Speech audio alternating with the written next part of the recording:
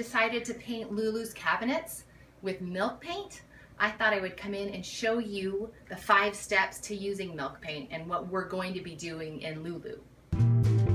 Number one, get your surface ready. So use a little bit of sanding and make sure it's clean and dust free. So this is a tabletop I'm gonna paint part of to show you. And you can see I don't have to be perfect in sanding, but I just wanna rough up the top just to get it a little bit better adherence of the paint. Then I'm going to use my dust cloth and I'm going to wipe that off. And you could even take a damp washcloth and wipe it. Now we're ready for paint. Usually you want to brush on one to three coats of milk paint depending on what you're doing.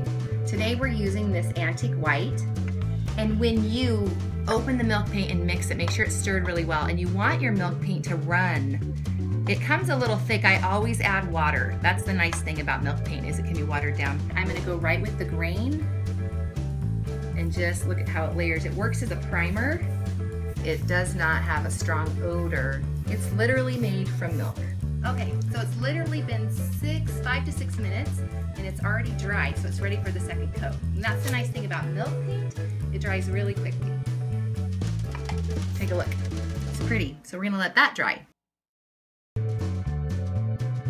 Now we're on the third step, which is where you're going to sand it and distress it. If you don't want a distressed look, you would do a really fine sandpaper um, just to give it a nice smoothing. Uh, and you would then use your lint cloth, cloth again. But I want a little distressed look. This is what we did in the cabinet, so I'm to show you. Um, I take my rough sander and I just kind of distress and sand off the areas that I want to show. So there's a little bit of distress from the table being old that you can see. I want to show this seam in the wood. And that's the kind of nice thing about milk paint is it sands so nicely. So you'll see a little bit of the wood here. I did some distressing here where some of the bumps and things show through and I like that because I like the old look. And here along the seam I did some distressing.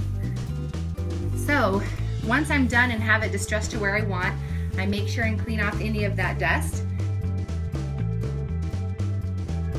All right, here we are for step four, which is glazing, and I'm gonna give you a little secret about glazing. Baby wipes. I love using baby wipes to glaze.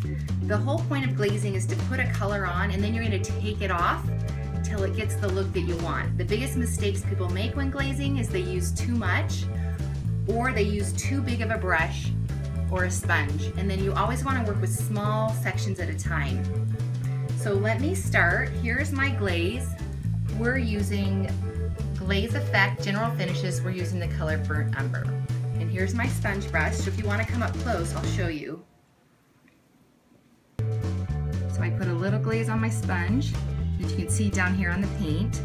I'll start on this section. And I'll do a little bit of glaze in small parts and then I take a wet baby wipe and I dilute it a little. But if you can see, it picked up the color of the wood nicely. So there's that section. So I'm gonna do along this section. I want that dark to show up inside. And edges of tables tend to get more wear, so I try to put the glaze where the wear would be most. So once I've got it to the level I want, I'm gonna go with the grain because I want that glaze to look like part of it. So I just use these baby's wipes to blend it in.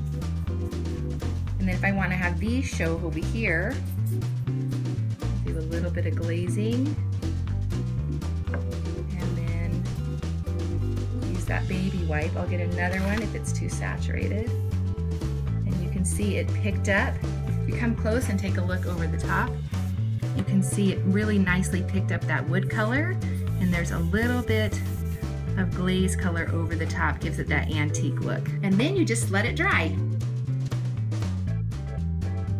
This is already dry, it's been like three minutes. Just make sure it's not sticky at all. It should feel really dry to the touch. Then you just do the same thing again. You just put on a nice layer of smooth top coat Make sure it's not too thick. If it shows white foam, um, like white sections, like drops, that means it needs to be smoothed out. You can see this side's getting shinier. So that's the second coat. I'm gonna let that dry and then we'll do a third and then I'll let you see the difference between the two. We're finished. I did the third top coat on here and let it dry and now I want you to come get a close-up look.